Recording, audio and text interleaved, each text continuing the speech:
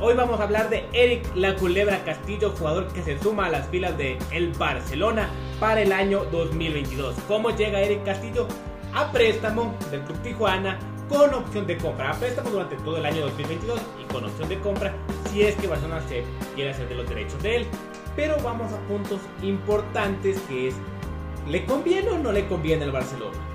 La respuesta es definitivamente sí, es un jugador muy interesante. Recordemos que Mal Coloyo está eh, como transferible, así que todavía resta ver qué pasa con él. Pero que refuerces con un jugador ecuatoriano de gran nivel, que incluso ha estado mucho tiempo en selección, es una muy, pero muy buena noticia, amigos. Ahora bien, ¿le conviene a Eric Castillo ir al Barcelona? También, ¿por qué? Y él busca esto, y tenemos muchos casos de estos en el fútbol ecuatoriano que muchos jugadores cambien de equipo por priorizar continuidad, por priorizar el tema del juego. ¿Por qué? Porque el siguiente año es año de mundial.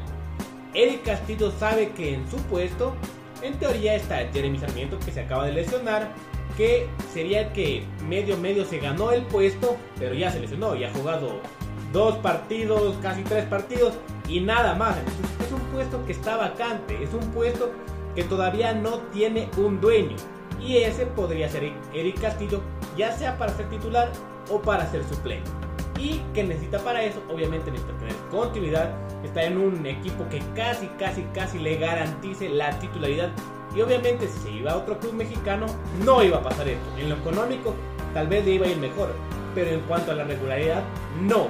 Así que Eric Castillo prioriza sobre todas las cosas el tema de jugar y le conviene a Barcelona y le conviene a Eric Castillo. A ver, puntos importantes. Eric Castillo nació en Ciudad Alfaro y mide un metro 78, no es tan alto, su pierna dominante es la pierna derecha, tiene como dije 26 años, puede ser extremo por derecha o por izquierda sin problema.